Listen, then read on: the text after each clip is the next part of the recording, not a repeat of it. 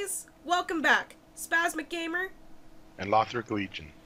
and today it is time for more education. Peace. Let's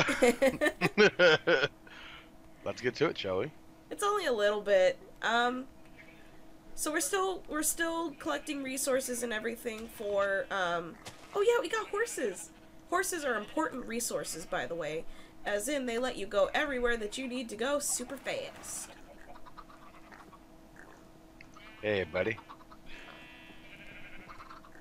So, um, aside from that note of collecting awesome horses, um, we have been collecting more resources. We went back to the Nether Fortress, um, in order to make potions, which we got enough blaze rods now. Well, for now. Um, but we still need to get more magma creams. We actually have another wart farm now, so that's nice. So what we're gonna do today? Yeah. We also moved the anvil down here in the uh, corner. Yes, we did. Because I forgot to grab it. We made an enchantment table. Here it is.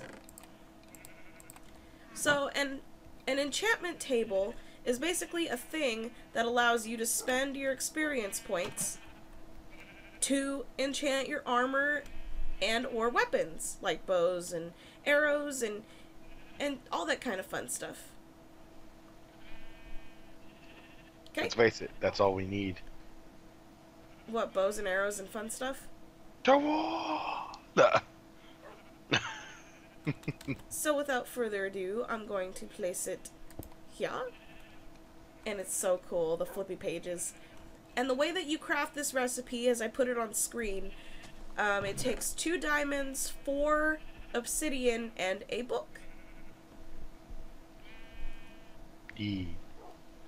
So what we need to do now, and we really need to put a crafting table on that side because I'm getting tired of walking back and forth, is we need to make books because books are kind of like the cheatsy way of being able to enchant stuff without pot- potentially ruining your armor, like getting an enchant that you don't want on your armor.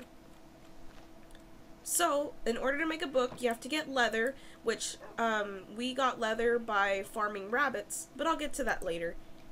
So you put leather in the bottom right hand corner like this, and you take a bunch of paper, and it makes books. So you make books, and it takes for you to enchant, it takes your regular levels here, so I'm like at level 22, and it also I'm at takes. five.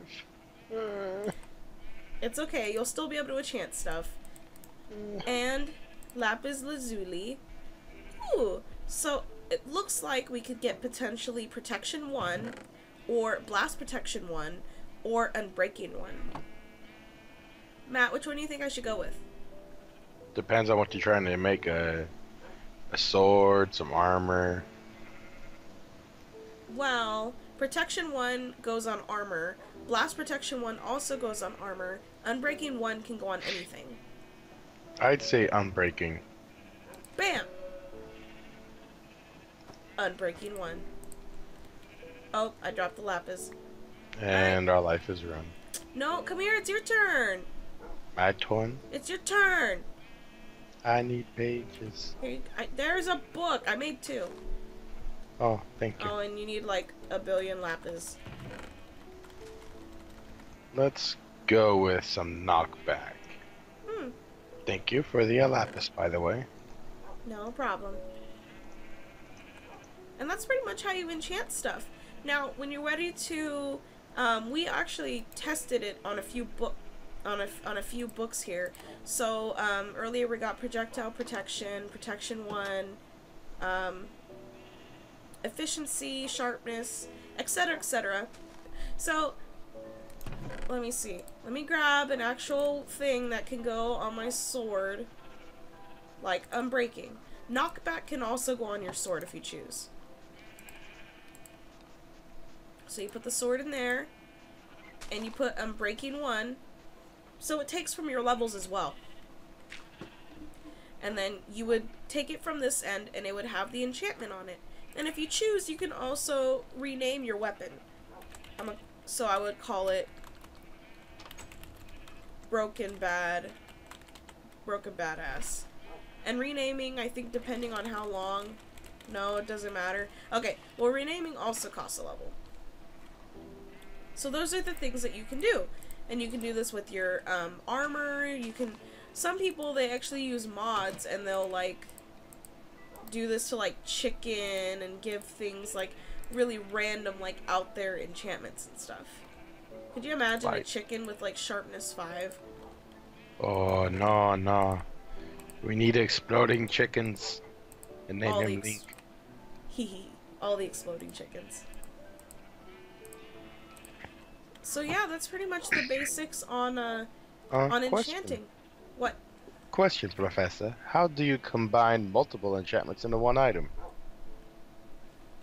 Well, first you gotta make a sandwich. No, I'm just kidding. What you gotta Oh, do wow.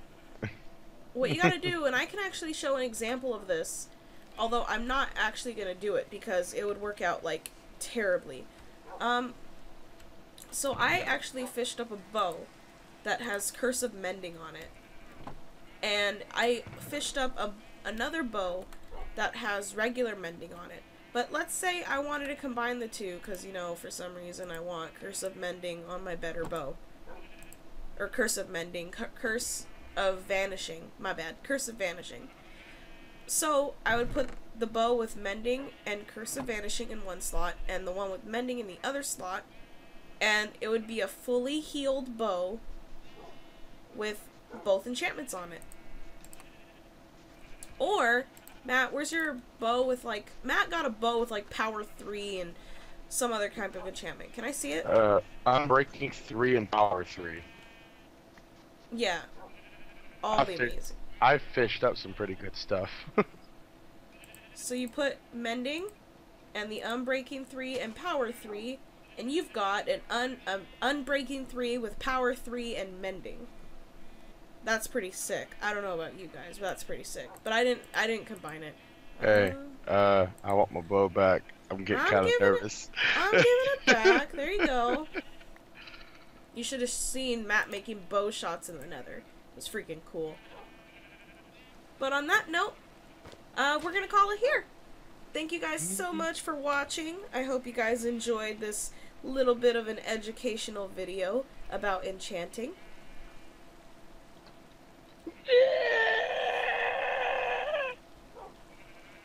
Yeah, boy. If you guys like this video, please leave a like down below and share with us in the comments what's your favorite enchantment. I hope you guys enjoyed, and this has been Spasmic Gamer, And Lothric Legion. and we'll see you guys next time. See ya.